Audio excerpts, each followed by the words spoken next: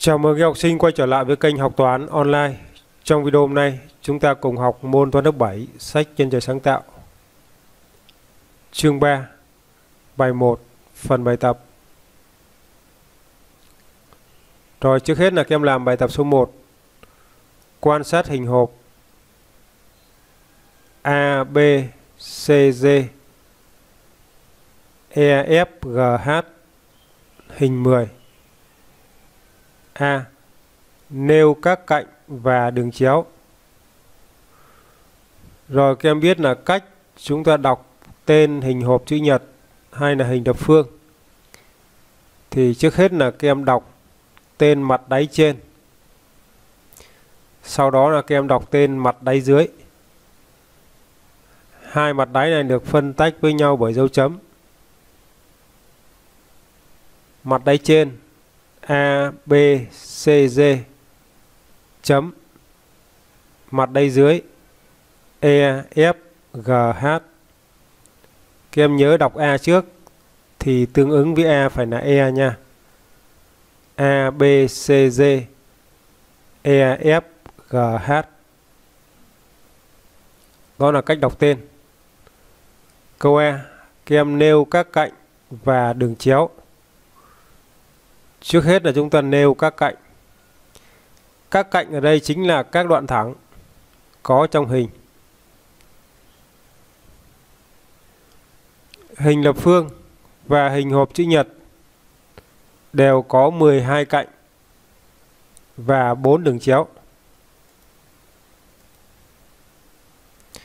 12 cạnh ở đây bao gồm 4 cạnh ở mặt đáy trên bốn cạnh ở mặt đáy dưới và bốn cạnh chiều cao.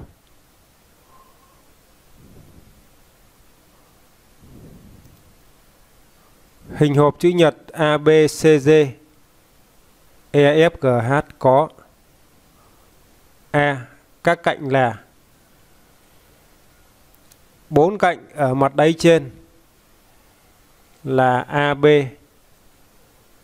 BC CG GE bốn cạnh ở mặt đáy dưới là EF FG GH HE bốn cạnh chiều cao là AE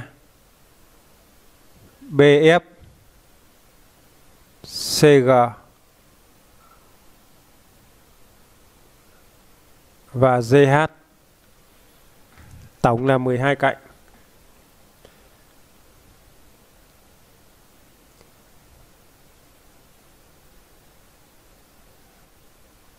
Tiếp theo là đường chéo. Hình hộp chữ nhật và hình lập phương đều có 4 đường chéo. 4 đỉnh ở mặt trên nối chéo xuống với bốn đỉnh ở mặt dưới, thì ta được bốn đường chéo. Vậy các đường chéo là AG BH CE và GF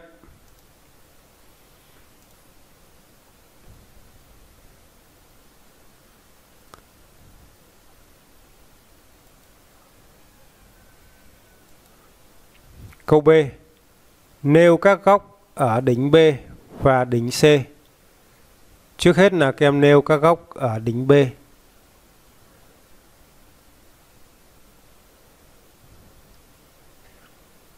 Hình hộp chữ nhật và hình lập phương đều có 8 đỉnh. Mỗi đỉnh có 3 góc. Cụ thể ở đây, đỉnh B Đỉnh B có các góc là Rồi các em nhớ đỉnh B thì chữ B các em viết ở giữa. Góc thứ nhất là góc A, B, F.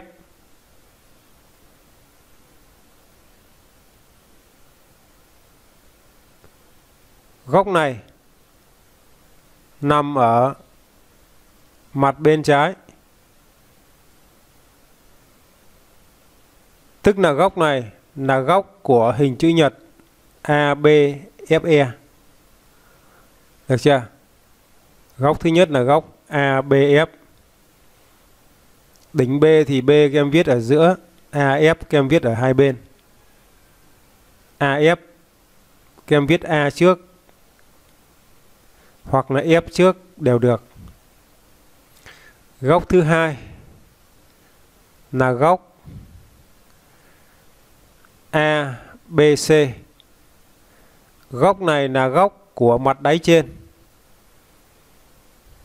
Tức là góc của hình chữ nhật ABCD. Và góc thứ ba là góc FBC. Góc này là góc của hình chữ nhật BCGF. Tương tự, chúng ta có các góc ở đỉnh C là BCG, BCG và GCG. Câu C. Kể tên những cạnh bằng nhau. Các cạnh bằng nhau là Hình hộp chữ nhật có bốn cạnh ngắn bằng nhau, bốn cạnh dài bằng nhau và bốn cạnh chiều cao bằng nhau.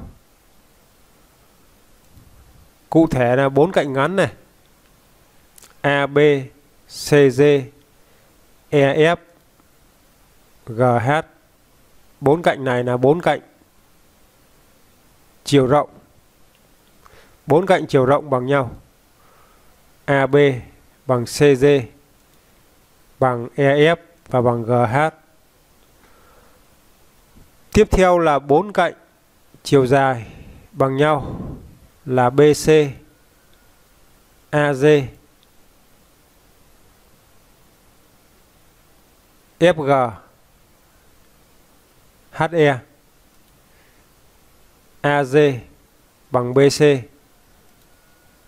bằng EH và bằng FG. Còn lại là bốn cạnh chiều cao bằng nhau.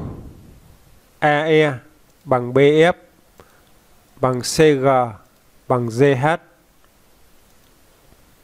AE bằng BF bằng CG và bằng GH.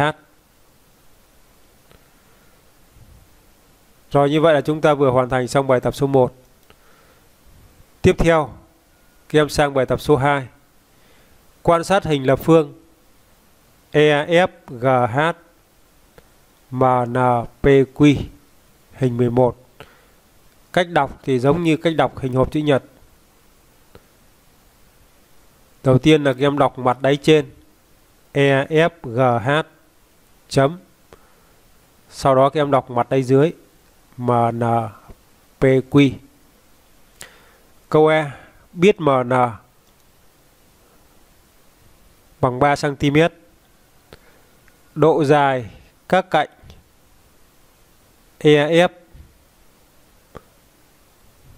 NF bằng bao nhiêu?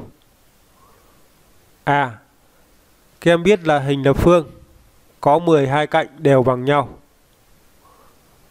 Nó khác với hình hộp chữ nhật Hình hộp chữ nhật thì có bốn cạnh dài bằng nhau, bốn cạnh ngắn bằng nhau và bốn cạnh chiều cao bằng nhau. Nhưng hình lập phương nó có 12 cạnh đều bằng nhau hết.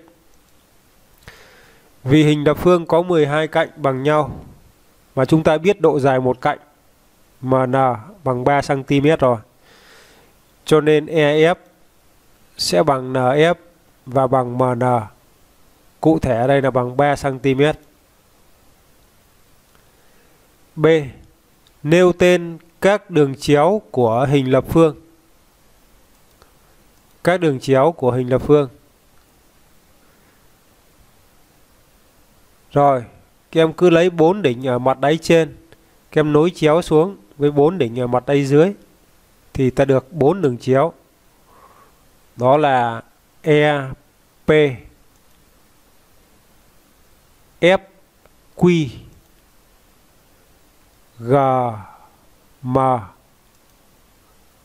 HN Được chưa?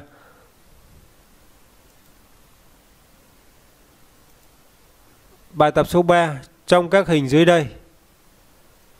Hình 12 A, B, C. Hình nào là hình hộp chữ nhật, hình nào là hình lập phương. Rồi cứ hình nào mà có các mặt đều là hình chữ nhật thì hình đó là hình hộp chữ nhật. Còn hình nào có các mặt đều là hình vuông thì hình đó là hình lập phương. Rồi các em quan sát hình 12A. Hình 12A và hình 12B là có các mặt đều là hình chữ nhật. Cụ thể là các em thấy chiều dài này, chiều rộng này. Được chưa? Chiều dài, chiều rộng. Chiều dài, chiều rộng. Như vậy, hình 12A và hình 12B là hình hộp chữ nhật vì có 6 mặt đều là hình chữ nhật. Riêng hình 12C ta thấy có 6 mặt đều là hình vuông. Được chưa? Các cạnh đều bằng 6 này. Các cạnh đều bằng 6 cm. Hình 12C là hình lập phương vì có 6 mặt đều là hình vuông.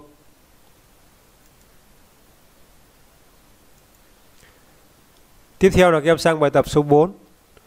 Trong hai tấm bìa ở các hình 13B, 13B và hình 13C thì tấm bìa nào có thể gấp được hình hộp chữ nhật ở hình 13A? Các em quan sát và suy nghĩ xem là trong hai tấm bìa ở hình 13B và 13C thì tấm bìa nào có thể gấp được hình hộp chữ nhật ở hình 13A? À ta thấy này. Hình hộp chữ nhật ở hình 13A thì có chiều dài, chiều rộng, chiều cao lần lượt là 3 cm, 1 cm và 4 cm. Các em quan sát xem là tấm bìa nào khi gấp thành hình hộp chữ nhật thì có chiều dài là 3 cm, chiều rộng là 1 cm và chiều cao là 4 cm. À đó chính là hình B đúng không? Dài là 3 này. Rộng là 1 này. Cao là 4 này. Còn hình C thì không phải. Hình C rộng của nó chỉ có 2 thôi. Được chưa?